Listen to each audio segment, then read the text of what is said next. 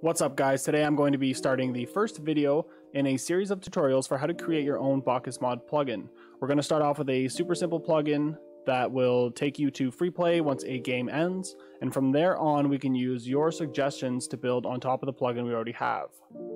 This is my first tutorial, so all feedback is appreciated. If you would like to subscribe, I would appreciate that a lot as well. Feel free to ping me in my Discord or ask questions in the comments.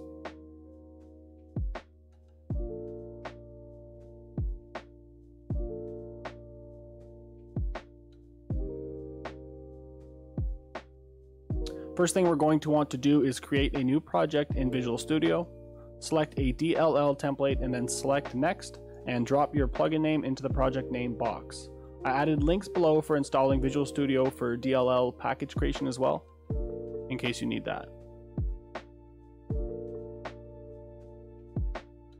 First thing you want to do with your plugin is set the build type to release, then set the build architecture to x64. I think this is because all plugins need to be 32-bit. I'm not 100% sure. After that, we're going to link the BakkesMod software development kit against our project. Right click the project, select properties, then from the left-hand menu, select C slash C++, general, then the drop down over additional include directories. From there, you want to open your BakkesMod injector, select file, open BakkesMod folder, then select BakkesMod SDK and open the include directory.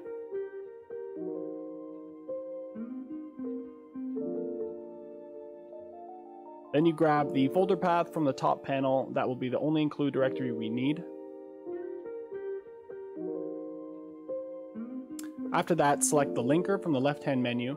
We're going to do the same thing for additional library dependencies, except we will select the lib folder from the BakkesMod SDK folder.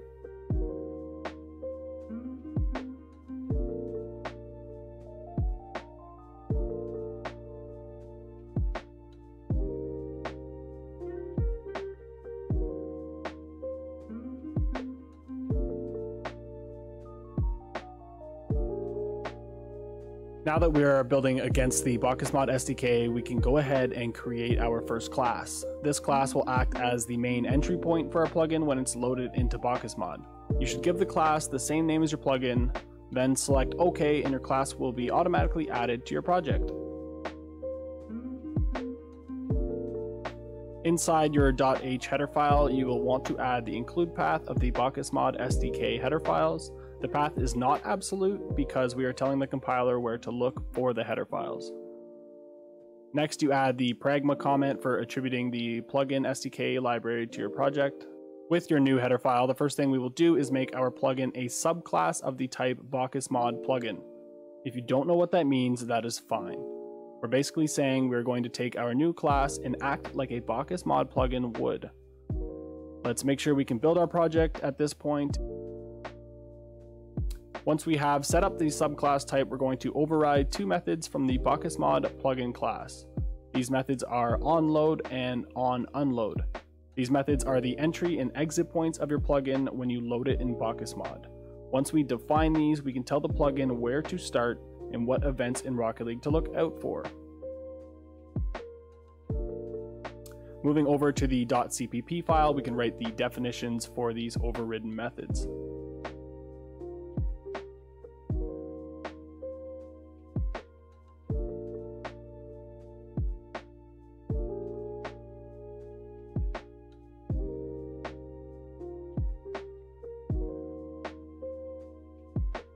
After this, you will want to add a BakkesMod macro function.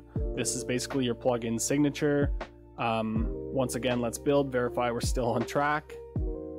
And after this has finished, um, we're done with all the contracts required to build a BakkesMod plugin. So the first method we're going to add that's custom is called load hooks. I'm going to add this method to hopefully help some of you that are new uh, get your feet wet when it comes to creating classes of your own. Instead of jamming all of your startup code in the onload function, we can let readers get a better idea of what it is our code is doing. This might seem like overkill, but in time it's a nice way to keep your code organized and verbose. So we add the declaration in the .h header file and the definition in the .cpp file. With the method written, we can add the call we're going to make to the onload function. Another custom method I want you guys to add is a log method. Um, these logs are what show up in the BakkesMod console in Rocket League. And this call will basically just wrap the BakkesMod log call that already exists, but it's going to help you streamline all log calls made throughout your plugin and hopefully show you a pattern. You can add things like formatting once in your custom method and only worry about writing the log message once with the custom log call. If it doesn't make sense right now, that's fine. These are good habits to pick up, in my opinion, and they're going to help you in the future when it comes to writing clean and modular code.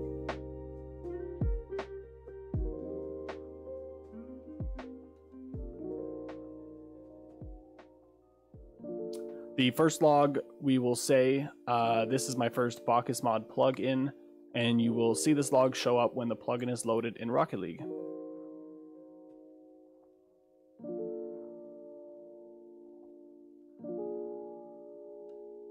Now we're going to add another method named game end event.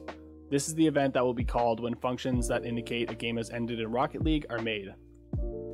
Like I mentioned earlier, when the plugin is loaded, we're going to be adding these event hooks to certain function calls in Rocket League.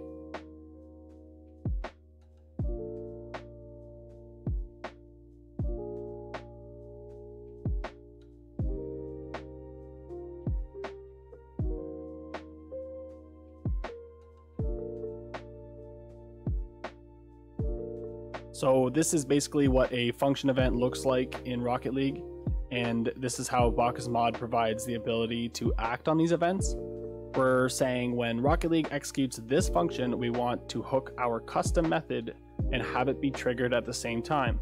The custom method being the game end event, uh, which we just created. Here are a few other examples of function events. You can find a list of many of these in the BakkesMod Discord. I added a few here so you can see how choosy we are. We only want to use events for specific actions in Rocket League. In our case, we only care about the event that occurs when a game has ended, so we're going to drop the other two methods. BakkesMod already has a custom call you can make in the console to hop into free play from anywhere inside Rocket League. So we're going to use this function call along with the BakkesMod SDK call for executing console commands inside our game event method. And that's basically it. Let's make sure we can co compile the plugin. Uh, we'll go into the folder that contains our compiled DLL and drop it into the BakkesMod plugins folder.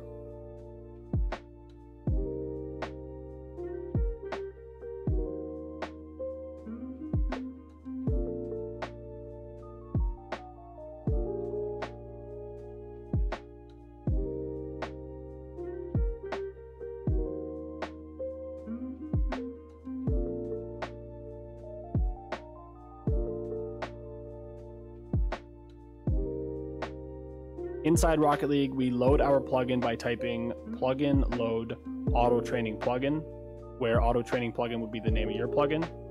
We can see the log message we wrote when the plugin calls onload. This tells us everything went fine. A simple test would be a private match. I'm going to show you guys what happens after the match is concluded. Um, if it works right, we should be placed into free play almost immediately.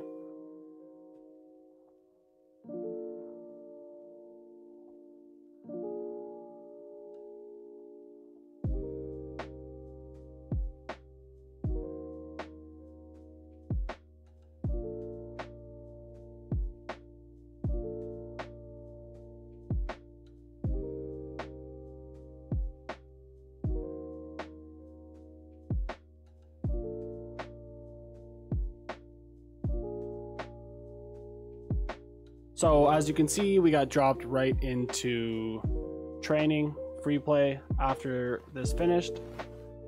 Um, and that's going to be the rest of the tutorial. If you guys want to see something else added or you're not sure about something else that can be included in BakkesMod, um, let me know in the comments and we can add it towards the next episode in this series. Thank you guys for watching. Um, all support is appreciated. Peace.